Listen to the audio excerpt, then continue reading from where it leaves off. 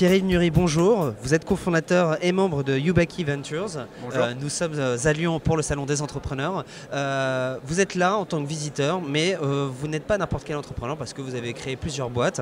vous avez créé une boîte en plus où que vous avez revendu à une grande partie de vos salariés. Donc moi je trouvais ça, je trouvais ça déjà intéressant. Est-ce que vous pouvez nous raconter bah, L'histoire elle est assez simple, c'est de dire créer une activité c'est compliqué, créer une activité de conseil qui plus est c'est assez dur.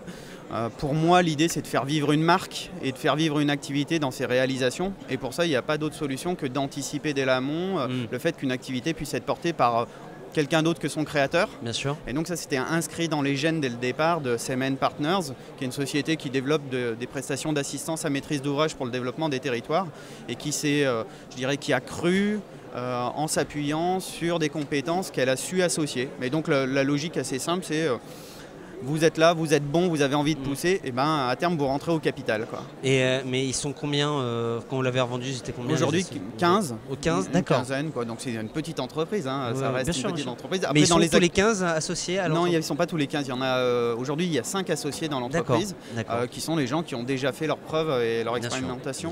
Voilà. Et c'était naturel dans le choix de, ces salariés pour bah, C'était un peu prémédité aussi, parce que quand vous créez une entreprise, vous allez chercher tout de suite les gens qui vous paraissent déterminants mhm. euh, pour euh, assurer sa croissance. Donc c'est des gens qui avaient été euh, associés dès la création de l'entreprise à l'idée qu'un jour ils deviendraient associés. D'accord, d'accord. Bon, et ça c'était avant. Aujourd'hui vous êtes donc cofondateur de Ubaki Ventures. Est-ce que vous pouvez nous expliquer la bah, nature de l'activité? Alors je vais essayer de le faire simplement. déjà sur notre mission. Notre mission telle qu'on la voit, nous c'est d'accélérer le transfert de la science vers la société. Dit autrement, c'est d'innover réellement.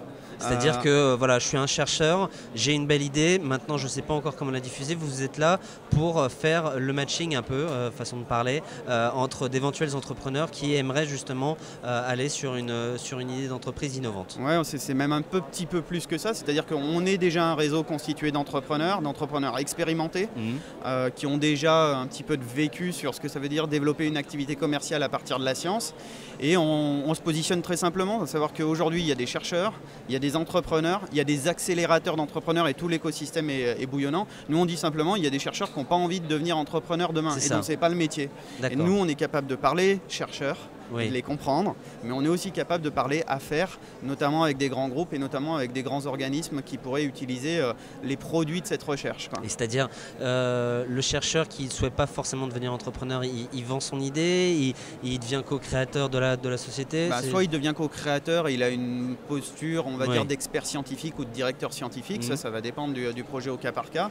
Mais euh, plus largement, l'idée, c'est de dire, voilà, même une idée, un concept, un brevet ou la mhm. propriété intellectuelle, ça reste souvent assez dormant en attendant que les gens identifient ce brevet et ce qu'ils pourraient en faire. Nous, on dit, on est capable de travailler avec vous sur les applications potentielles tester ça rapidement sur le marché, le lean startup entre guillemets quoi. Et puis euh, la petite différence, en tout cas la différence qu'on apporte, c'est euh, expérience réseau. Euh, on est une dizaine, voilà, on a une quarantaine d'années. Il y a plein de choses qui se font par des gens très jeunes et très compétents, il n'y a aucun doute là-dessus. On apprend quand même en faisant. Donc comme on a déjà entrepris, on pense qu'on a une, une, petite valeur ajoutée sur les bêtises à pas faire pour rester poli. Pierre-Yves euh, merci en tout cas d'être passé par notre plateau pour nous expliquer tout ça. Euh, vous rapprochez euh, les scientifiques du monde des entrepreneurs et c'est une très bonne chose. je le rappelle, vous êtes cofondateur et membre de Ubaki Ventures, je viens de le dire, et nous sommes à Lyon au Salon des entrepreneurs. merci à vous. Merci à vous et à bientôt. À bientôt.